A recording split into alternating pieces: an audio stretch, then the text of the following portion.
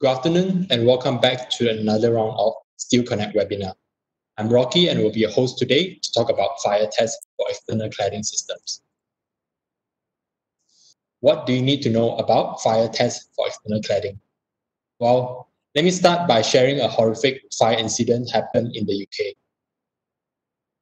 It was close to midnight of 14 June 2017 when Mr. Behailu Kebede just got back home from work.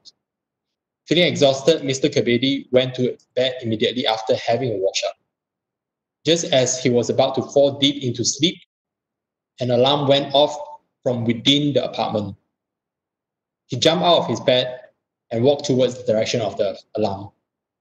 As it turns out, it came from the ki- uh, his kitchen, which is separated by a door. Just as he opened the kitchen door, a gush of smoke had caught Mr. Kebede by surprise.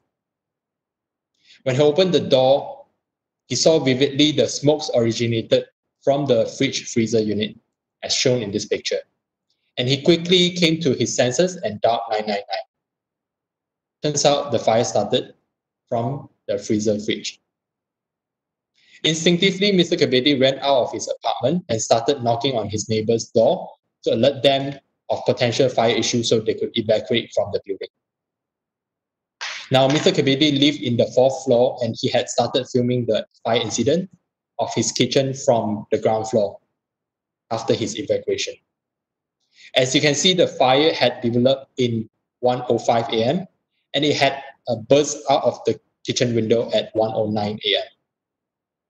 The firefighters entered into Mr. Kebede's kitchen at 1.14 a.m. to put out the fire, but it was already too late. The fire had spread out to the top floor within 20 minutes of bursting out of the window and started to spread horizontally around the building, creating an inferno, an unstoppable inferno. So this is the Grenfell Tower fire incident, which had taken 72 lives. Upon experts' investigation, the original cause of fire could uh, be from the fridge freezer located near the window. And once the fire burst out of the window, the fire spread was caused by the external cladding material, where it was found to be aluminum composite material made with polyethylene filler sandwich in the middle, as shown in the picture. We know that fire incident is not unfamiliar in Malaysia.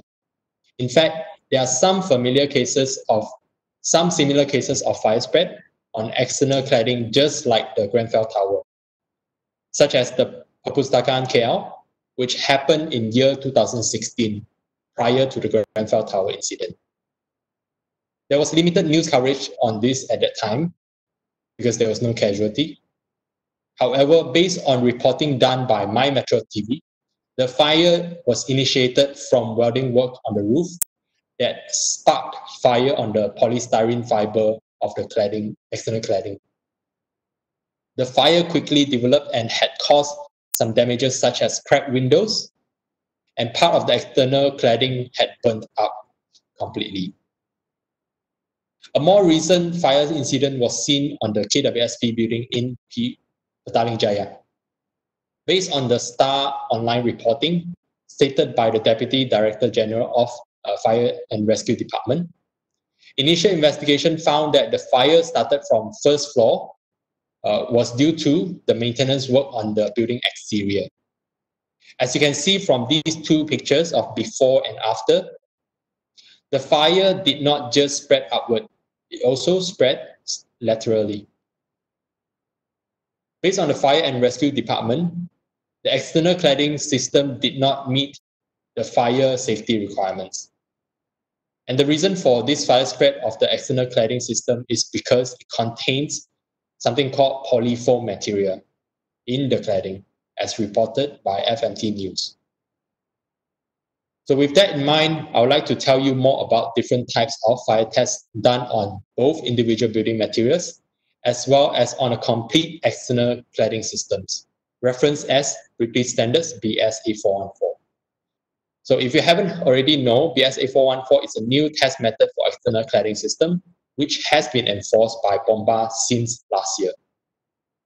But first, let me tell you about the fire test on building materials.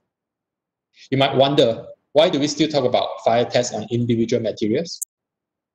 Well, these individual building material tests would indirectly affect the results of the fire test of the external cladding system.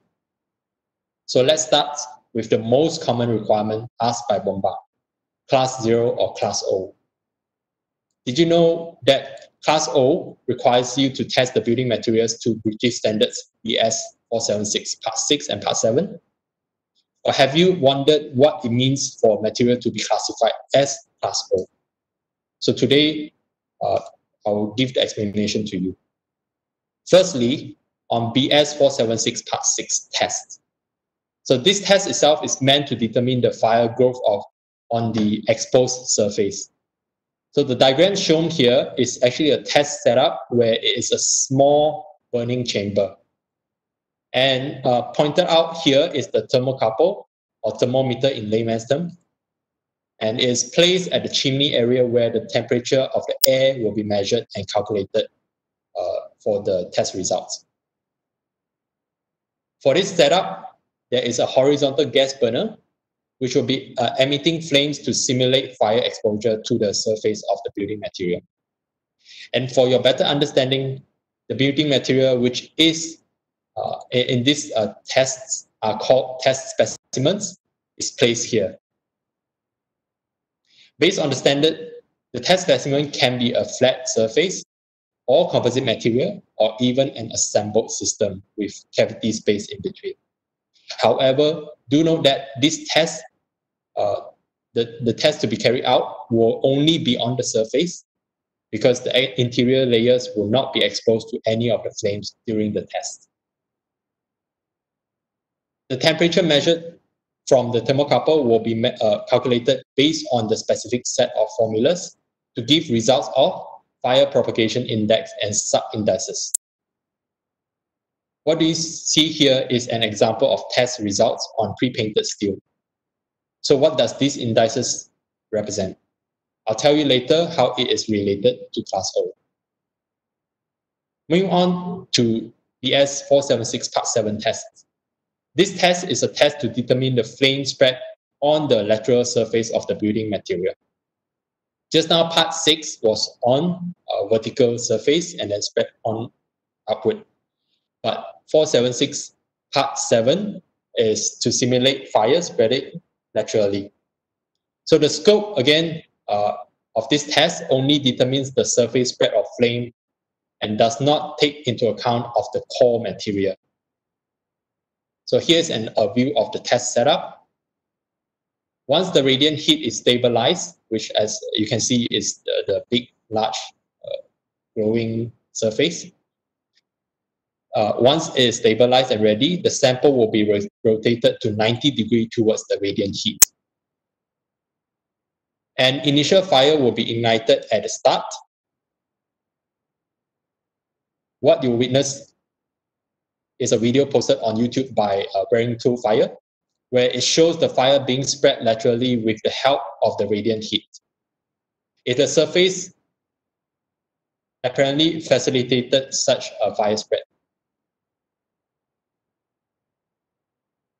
For this test, we'll be able to determine the rate of flame spread on the building material. So the test itself will be restricted to one, the, the observation will be restricted to one, one and a half minute. And also the extent of flame spread, which over here will be observed for the whole duration of the fire. So the, the fire will not be intervened and then we'll let it to burn all the way through or let it subside. So if the building, if the building material is classified as class one, as classified in BS 476 Part 7 test. It means that the flame did not spread more than 165 millimeter within one and a half minutes from ignition. And the fire subsided within the one and uh, 165 millimeters range without further intervention. To give you a visual aid, the samples you saw earlier had some lines drawn on it. Is meant to provide visual judgment for evaluation. And if the building material is classified as class one, it means the fire, which start, started on the right-hand side, did not spread beyond the red box area. In the report, here's how it will look like. For a typical pre-painted product or pre-painted steel, we observe that there's no spread of flame as the paint layer mass is quite insignificant. The paint layer itself, uh, how thick it is, also will determine how easy it is to spread the flame. All in all, in order for the building material to be classified as Class O, it should meet both BS 476 Part 6 criteria as stated here, where the fire propagation index should be less than 12 and the sub-index uh, should be less than 6, while also meeting the BS 476 Part 7 test uh, classification of Class 1. Combining these two, you get Class O classification. So generally, pre-painted coated steel is classified as Class O. But do ensure that you get this classification uh, clarified when you look for any building material. However, I would like to note one thing. BS 476 Part 6 and Part 7 only test for the surface on the cladding. For example, in this diagram shown here, if the test specimen is a composite material, like a panel, only the material 1 is tested, while material 2 and 3 are not tested, will not be exposed to the test. So let me show, share you a scenario. If the building material 2 can catch on and or spread fire, the test based on BS 476 uh, part 6 and part 7 will not be able to detect it because it is shielded by material 1. That is the limitation for class O. And how about combustibility tests? Most often I hear the reference of class O to non-combustible material. In fact, there is a difference. Here you can see the combustibility test is referred to BS 476 Part 4 test. Okay. Part 4 will require a specific preparation of sample. As you can see here, it is a stack of coated steel to make up a cube and the cube dimension is 40 by 40 by 50 mm height. The sample needs to be prepared uh, such in such dimension because it will be placed into a specific basket where the whole thing will be placed into a furnace later on. You'll also notice that there's a drilled hole in the sample, on the sample. This is meant to place a thermocouple where it will measure the internal temperature of the material. Another thermocouple will also be placed near, uh, into the furnace adjacent to the test specimen. The furnace setup itself looks something like this in this diagram. Also, the furnace temperature will be stabilized at 750 degrees Celsius before the sample, the test specimen is placed into the furnace for 20 minutes. And during that 20 minutes, we'll observe both the temperature change measured by the two thermocouples, as well as the internal uh, observation whether there's any flames. So in order for the test specimen to be classified as non-combustible, first, the two criteria are both measured temperature in the test specimen and adjacent to the uh, specimen should not exceed 50 degrees Celsius from the initial stabilized temperature of 750 degrees Celsius, which means less than 800 degrees Celsius. Another criteria is that there should not be any visible flame within the furnace that lasts more than 10 seconds. The reason for these two uh, criteria to be set up is because they want to ensure that the material itself does not let out additional energy or energy additional flame uh, that could quantify as combustible. So for BS 476 Part 4, three valid test specimens results will be recorded. And typically the test report will be uh, stating whether the test specimen is considered non-combustible or not, or combustible. And in general, unpainted coated steel will be non-combustible. So coming back to the composite panels, I've mentioned earlier, the core material, however small it may be, can be tested according to BS 476 Part 4 to determine its combustibility. If it is not combustible, the chances that you will have fire spread on the external cladding system will be significantly lower. That means individual component like building material two and three, if let's say these are classified as non-combustible, there's a low chance that your external cladding system will spread fire. So the next test, which is the uh, new fire performance test on complete external cladding system, is called BS 8414. This, this test was introduced after the major incident at KWSP building. Just to give you a clear perspective, this is how BS 8414 test looks like. The reason this test uh, is uh, enforced to ensure that the complete external cladding system has been put in uh, this rigorous test and passed all the criteria before it's being used in actual building. These include the cavity space, which, if exposed to fire, could potentially draw the fire upward, uh, essentially acting like a chimney effect. So let me tell you about some of the potential fire spread mechanism.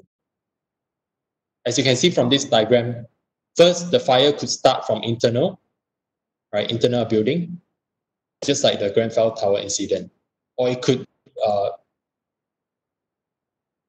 start uh, from external fire, just like the Perpustakaan KL or KWSP, where maintenance was done, was done on exterior uh, building.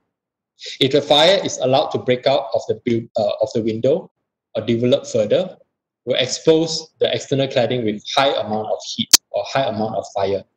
And if the uh, external cladding allows for fire spread via external surface or even the core material or the cavity space, it will spread rapidly upward, causing secondary fire on another floors, potentially creating an inferno, just like the Grenfell Tower. Do you know that this test itself is on no, a non-load bearing external cladding system. And the cladding is expected to be locked onto either a masonry wall or on mount steel structure. So for BS 8414, it is divided into two parts. BS 8414 Part 1 for setup and method of test on external cladding locked onto the masonry wall, while BS 8414 Part 2 is for setup and method of test on external cladding locked onto the mount steel structure. Either you are going for test according to part one or part two, the final layout is very similar, where you have a main face, a wing face, and a combustion chamber which simulates fire coming out of a window or an opening of a building. You see that the height of this setup uh, is more than 8 meters and is a fire test. As it is a fire test, thermocouples are also used in order to measure temperatures at different parts of the cladding.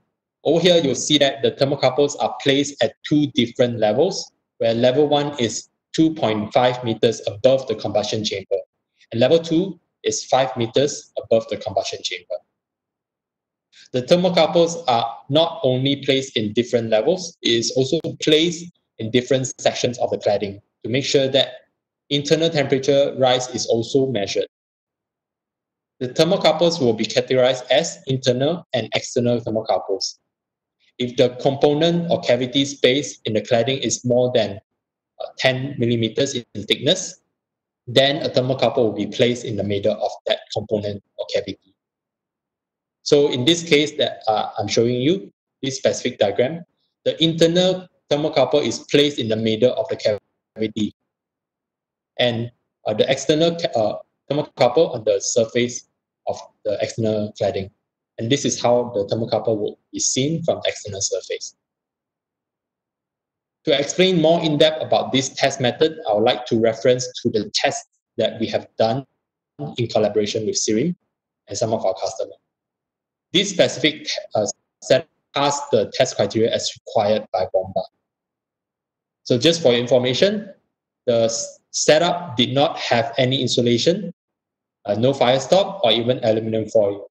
It was purely a layer of pre-painted corrugated steel sheets locked onto the top hat. This is how it looks like before the corrugated steel sheets is installed. And there's also, uh, I mean, for this specific case, the cavity space in between the masonry wall and the external cladding is about 205 millimeters. And the external cladding is made out of 0.42 mm thick corrugated steel sheets fastened onto the top hat. The fire source is made of wood and will be allowed to burn continuously for 30 minutes. Here's the time lapse to show how the fire test is carried out for the first 30 minutes and will be extinguished at the 30 minutes mark if nothing failed. Then followed by another 30 minutes of observation. So once the fire is put out, they will wait for another 30 minutes for uh, any uh, unexpected observation. Of course, if the fire spread rapidly and failed uh, some of the criteria or critical criteria, then early termination of the test is possible. The test shown here only lasted for uh, less than eight minutes. And this specific cladding is said to have a, a very similar characteristics as the Grenfell tower cladding. And over here, you can see all sorts of uh, breaking down of the cladding. And eventually, before the eight minutes point, early termination of the test is done to make sure that it does not endanger any further of the of other building component within the test site. So for this segment, I will not uh, cover which building needs to be tested and which one does not as the guideline is yet to be clearly established. Okay, however, I'll shed some lights to how these criteria are evaluated and show you some of the past and fail observations and some of the lessons learned. So here are the criteria. So these criteria are co-developed between Bomba and SIRIM. And in total, there are actually six criteria which together will determine whether the specific external cladding system is able to pass to be used as external cladding. First criteria is external fire spread. So this will be measured based on level 2 external thermocouples. In order for the cladding to pass, the external surface should not allow fire spread coming from the combustion chamber. To be more precise, all the external thermocouple at level 2 should not have continuous temperature reading of more than 600 degrees Celsius for 30 seconds within the 15 minutes of fire or ignition point. Here's the specific test done in collaboration with SIRIM. You can see that the fire at its peak time did not reach level 2 height. Upon closer inspection after the test, we saw that the fire only reached level 1, which is around 2.5 meters above the combustion chamber. And this is the temperature reading of level 2 external thermocouples. One of the thermocouples, as you can see here, reached 600 degrees Celsius briefly and did not last more than six, uh, 30 seconds. And bear in mind, this one was uh, done without any fire stop. It was just uh, the corrugated steel sheets with a top hat and the cavity space. Now here is another test of typical uh, composite panels that was witnessed in SIRIM. Within 10 minutes from starting the fire, it had developed upward and is seen to be reaching level 2 height. This is classified as failed for external fire spread criteria. So up to the next criteria, which is the internal fire spread. So this will be measured based on the level 2 internal thermocouples as shown in the diagram. And the criteria itself is very similar to the first external fire spread criteria, right? Where uh, precisely all the internal thermocouples at level 2 also should not have continuous reading of more than 600 degrees Celsius for 30 seconds within the 15 minutes after the fire started. Okay. So the reason why they actually do this uh, measurement is because the internal fire, uh, internal surface should not help with the fire spread coming from the combustion chamber. Here we refer back to the test that we did in collaboration with SIRIM. From the observation of cladding after the fire test, we did not see any failure or detachment of the cladding. Hence, the internal temperature is significantly lower as there's no fire drawn upward from the cavity space. From the diagram or from the graph, you can see that uh, the highest temperature was recorded close to 300 degrees Celsius. And on to the third criteria of visible flame. This evaluation will be based on visual and if the fire is seen exceeding the confined space of the test setup, either laterally as shown in the diagram or on the top of the test setup for more than 30 seconds continuously, then it will fail this criteria. This is likely to happen if the fire is allowed to develop within the cavity space as shown here. Just to share some insights, after ignition, the temperature near the combustion chamber constantly reached above 600 degrees Celsius within the 30 minutes time frame. Therefore, it is especially critical to pay more attention to detailing, such as the flashing and capping. Again, referring back to the same test that we had uh, in collaboration with SIRIM, flashing was secured near the combustion chamber to prevent any flame from coming through to the cavity space. And it will be critical for the flashing to stay intact to shield the fire from going through.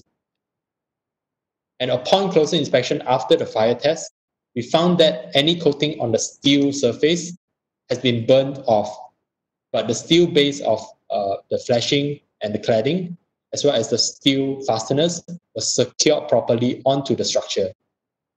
So this can be explained by the higher melting point of steel, which is more than 1400 degrees Celsius. Hence, we did not see any visible flame exceeding the confined space for the entire test duration. In contrast, typical composite panels normally made of aluminum might be melted in this temperature. Therefore, you might want to consider how to address this inherent limitation. For the next two criteria, it will be confined to, to the collapse zone, which is defined as the area in front of the combustion chamber with a dimension of 2.4 meters width and 1.2 meters depth. Because of the intense fire, there's a possibility that the panel's locking mechanism might be affected. So for the fourth criteria, there should not be components of the cladding longer than 500 millimeter and 200 grams in weight falling outside of the collapse zone. Otherwise, this will create another roadside safety issue or even affect the firefighters' effectiveness. Aside from mechanical performance, there should not be any burning debris or pool fire developed outside of the collapse zone. This is especially dangerous if there's any combustible material adjacent to the building or right below the building. To show you an example of what burning debris look like, I've found a video recorded on the night of Grenfell Tower incident. This burning debris could also cause fire spread uh, in the downward direction of the external cladding.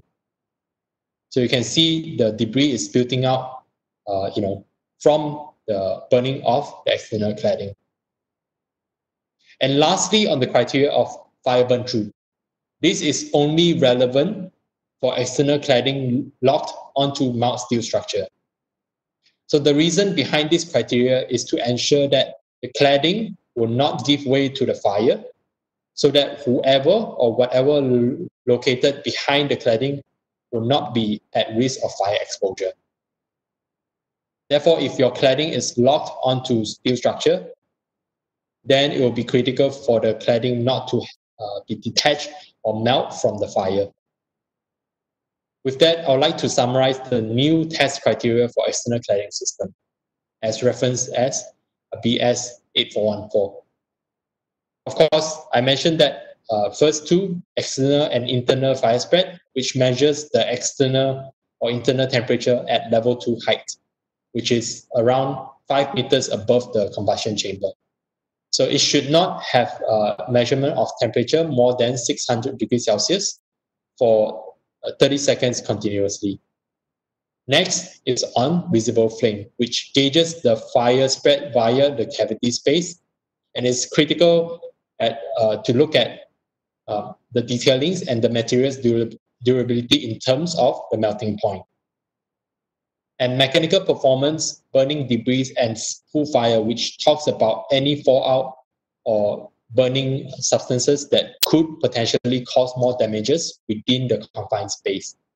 And lastly, on the fire burn through, where if the cladding was locked onto the steel structure, then you have to consider something that would not melt or allow the fire to burn through uh, because it will create some issue for the internal dwellers. So moving on to the next um, session, which is on the question and answer session. What are the what are the requirement or test certificate a sealant needs to fulfill to be bomba proof for use in external cladding system? So, so in, in this specific case, um, we actually will refer back to whatever test that was uh, announced. So if let's say the sealant by itself, uh, it will be on the uh, material uh, building material testing of BS uh, 476. So whether uh, it's valid to be tested against uh, non-combustibility or non-fire spread, that one I think you have to consult with the tester or bomba because uh, at the end they will they they they face these questions uh, day in and day out so they will know which kind of test is most suitable for uh, this case especially on the sealant so the next question is there any standard design for external cladding system so um, in terms of the external cladding system uh, so far because this test has been introduced last year and uh, so far, there was not much discussion going on. But we do hear that you know there are systems that are being tested uh, by SIRIM, and um, all of the system will vary uh, depending on the type of material used and even the type of cavity, uh, the, the amount or the thickness of the cavity space. So uh, there is, to, to answer your question, there is no standard uh, design for external cladding system. So it is still quite fragmented in terms of uh, you know the design. And of course, uh, for, for us, we are just sharing our experience based on the test that we have done for a specific uh, case. And um, I hope that itself will give you some, some insight. So what is the difference between class O and non-combustible material? Okay, so in terms of um, class O and non-combustible, we do uh, hear people always referencing class O as non-combustible material. So uh, to share you, um, based on what I've presented, non-combustible means that it should pass the BS 476 Part 4 test. But then part, uh, class O is not uh, based on this BS 476 Part 4 whereas is actually based on BS 476, Part 6, and Part 7 tests, which test on the fire spread on the surface of the building material. So it can mean that the building material itself will catch fire, but it will not spread flame on the surface. Okay, but it does not mean that the fire is non-combustible. So in order for, for you to determine which is the requirement for your external cladding, I will add that um, typically for external cladding, just the external surface, part 6 and part 7 would be sufficient. However, because in, in the market, there are various systems where uh, the composite material could be uh, non uh, could be combustible. Therefore, this test was introduced. This new test of BS 8414 was introduced to make sure that uh, the test itself give a holistic view of uh, how the complete external cladding system would work. So I hope that answer your question. So where can I get this new BS 8414 requirements? Okay, so um, for this uh, new BS 8414 requirement, uh, you can always uh, refer back to us because so far we haven't found uh, the document being uploaded by SIRIM or by Bomba on the website. So uh, if you uh, want to refer this to this document, we are able to share you. Uh, we are in the process of uh, getting approval, I mean, getting consent from SIRIM to post this document on our website. So you, I mean, you don't have to just, you know, send us an email. You can just download it uh, in the future. So we'll share that out after this session. So the next question is, does this test, uh, is this test required for all the projects? So uh, with this, we actually asked around with some of the architect or even project owners. So apparently, Bomba has uh, sent out letters to project owners or even building owners that have external cladding that they would think is valid to test. So if you have received any uh, bombast alert or Bomba's letter saying that your external cladding needs to be tested, then you you can uh, you know consult us or consult SIRIM further because uh, currently in uh, ASEAN region, um, only Malaysia is uh, having this uh, test setup of BS 8414 meaning only Malaysia or more specifically, SIRIM is able to conduct this external fire cladding, external cladding system test on fire performance. So you can always uh, approach SIRIM on this. And uh, in terms of the costs, um, so far, it, I mean, there's a large amount of cost that you have to incur if, let's say, it is required for you to do conduct these tests. So if let's say you are still in the designing stage or in the budgeting stage, I would encourage you to approach Bomba uh, to, to clarify further whether your cladding needs to be tested according to this new standard. Otherwise, then uh, you can go for those uh, systems that has been tested uh, according to these standards and pass. Or rather, you can, uh, you know, if let's say your building is completed uh, according to what I heard, Bomba will also send a letter to you for building that has been completed in recent years for like three years, five years, or 10 years. And they, they will uh, follow progress. And uh, once you receive the letter, you can always go back to, uh, you know, uh, Bomba or SIRIM for further clarification. The next question, is there a valid period for BS 4, uh, sorry, 8414 test report? So uh, this BS 8414 test report, so far we have not heard of any validity uh, uh, duration for this test report, but uh, there is a certain um, limitation. So for example, for manufacturers who wish to uh, get their uh, cladding certified or so-called tested according to this BS 8414, then they, are, they have to set a few parameters. For example, if the cladding system has a range of say, uh, cavity in between 100 millimeter, 100 millimeters to 200 millimeters. And if they wish to offer this standard product to the market, then they will have to test uh, their cladding system with both 100 mm cavity space and 200 mm cavity space. So in order for them to test both uh, and pass both, that means that you know any cavity space in between 100 and 200 mm will be uh, automatically considered passed for this test. And same with the insulation layer. So if the insulation layer itself is, for example, 10 or 20 mm uh, thickness and then 50 mm thickness, for example, then uh, the manufacturer or rather the building owner can have the specific cladding system tested. But for manufacturers, if let's say they wish to offer uh, the cladding system with insulation of uh, ranging from 20 millimeter to 50 millimeter, then they'll have to test for the minimum thickness and the maximum thickness of the insulation with the cladding system in place.